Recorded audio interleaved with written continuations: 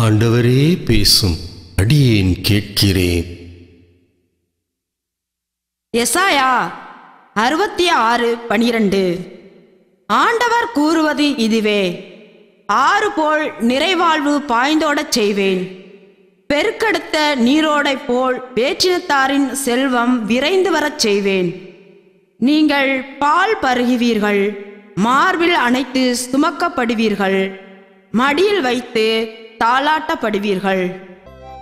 என் அன்பு மக்களே நான் உங்களிடத்தில் நிறைவாழ்வை காண வேண்டுமென்று மிகுந்த ஆவலோடு இருக்கிறேன்.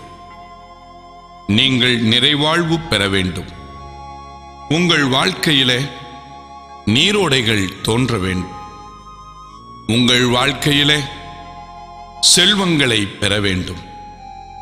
நீங்கள் எல்லாவற்றிலும் நன்மை அடைந்து ஆறுதலால் நிரப்பப்பட வேண்டும்.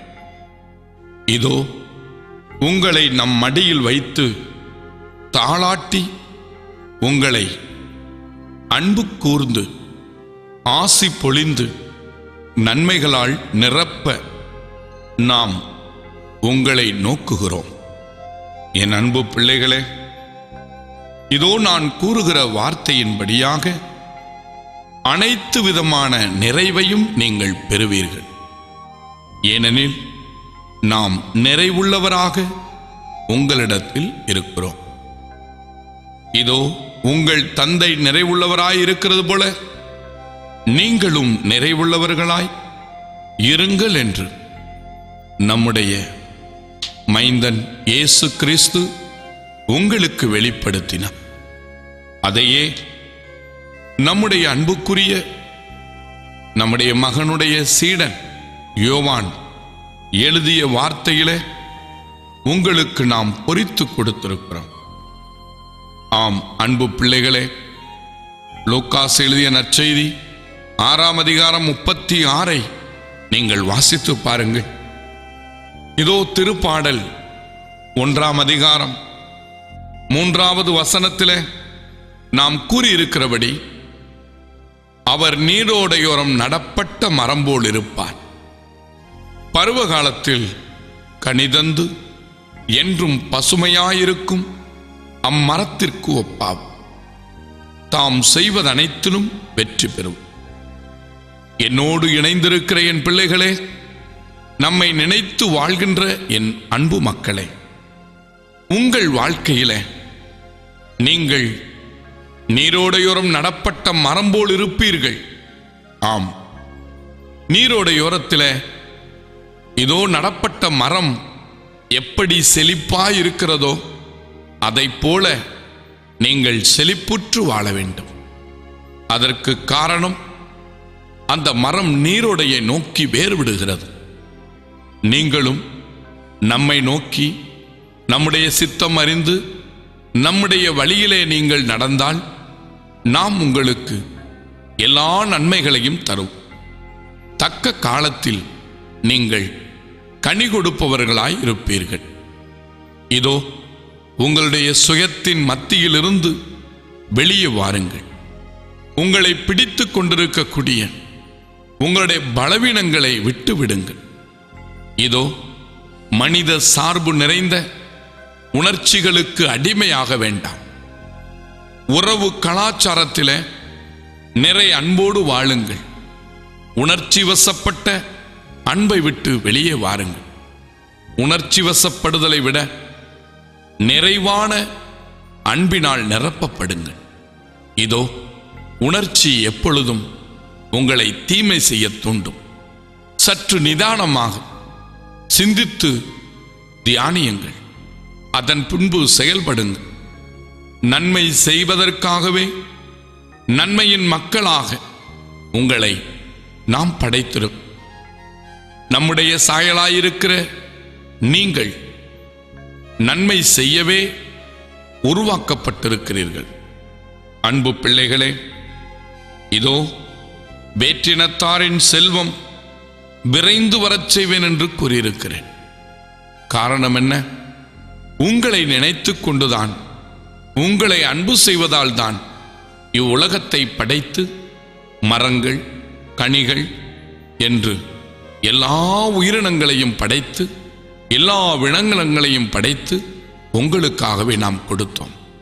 இவ்வுலகத்தில் பொழியப்படுகிற ஆசிர்வாதங்கள் உடல் சார்ந்த ஆசிர்வாதங்கள் மனம் சார்ந்த ஆசிர்வாதங்கள் ஆவிக்குரிய ஆசிர்வாதங்கள் எல்லாம் உங்களுக்காகவே நாம் அடைத்தோம் என் அன்பு பிள்ளையே இப்போது பெற்றுக்கொள்வாயா? இப்போது நீ பெற்றுக்கொள்ள வேண்டும் என்று முயற்சி செய்வாயா? இதோ செபிக்க மறந்துவிட்ட உன்னை மீண்டும் அழைக்கிறேன். விரைந்து வா என் அன்பு மகனே. இந்த ஆசிர்வாதங்களை முழுமையாய் நீ பெற்றுக்கொள்ள வேண்டுமே. நீ ஆறுதல் அடைய வேண்டுமே. என் மடியில் வைத்து தாளாட்டப்பட வேண்டுமே. இதோ பழியப்பட்ட பொருளாதார ஆசிர்வாதங்களும் ஆவிக்குரிய ஆசிர்வாதங்களும் நீ பெற வேண்டுமே என்ற ஏக்கம் என்னிடத்தில் உண்டு. இதோ நேர்மையாளரின் நெறியை ஆண்டவர் கருத்தில் கொள்வார். திருப்பாடல் ஒன்று ஆறிலே சொல்லப்பட்டிருக்கிறபடி பொல்லாரின் வழியோ அழிவை தரும் என்று எழுதப்பட்டிருக்கிற வார்த்தையின்படி இதோ நேர்மையாளரின் நெறியை கருத்தில் கொண்டுள்ளோம்.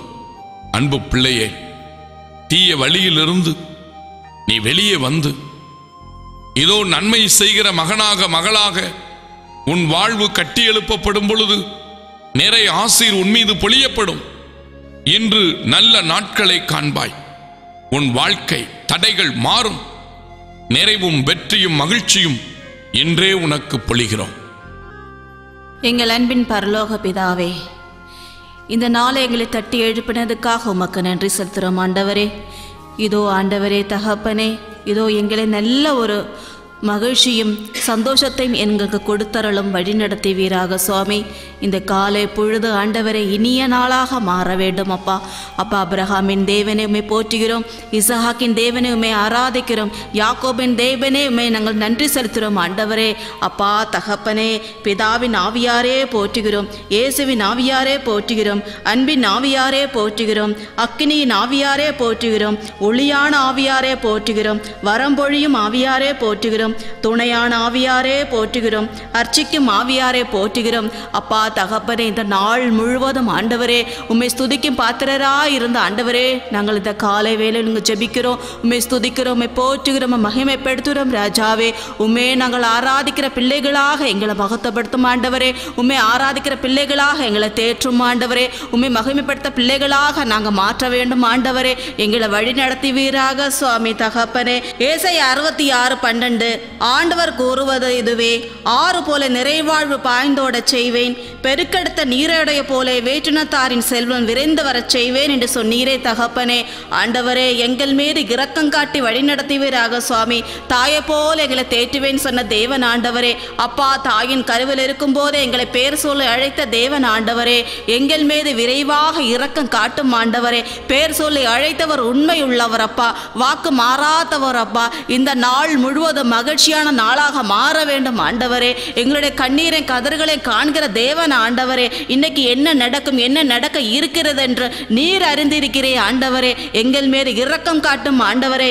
தாய் தன் பிள்ளைகளை தேற்றுவது போல் நான் உங்களை தேற்றுவேன். எருசலேமில் நீங்கள் தேற்றப்படுவீர்கள். இதோ நீங்கள் காண்பீர்கள் உங்கள் இதயம் மகிழ்ச்சி கொள்ளும் என்று சொன்ன வார்த்தையின்படி. இதோ எங்களுக்கு இந்த நாள் முழுவதும் மகிழ்ச்சியும் சந்தோஷமாக நிரப்பிக்கொடும் ஆண்டவரே.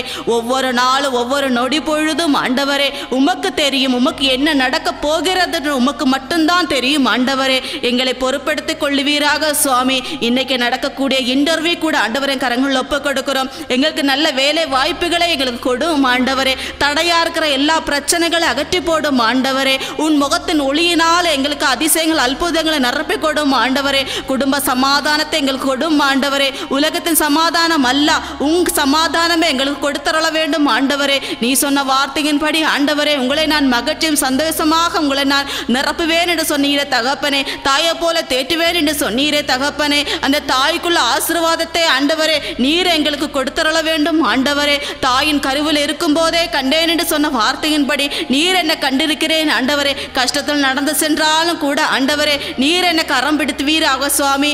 அப்பா எங்கள் மீது இரக்கம் காட்டும் தகப்பனே. எங்கள் மீது இரக்கம் காட்டும் தகப்பனே.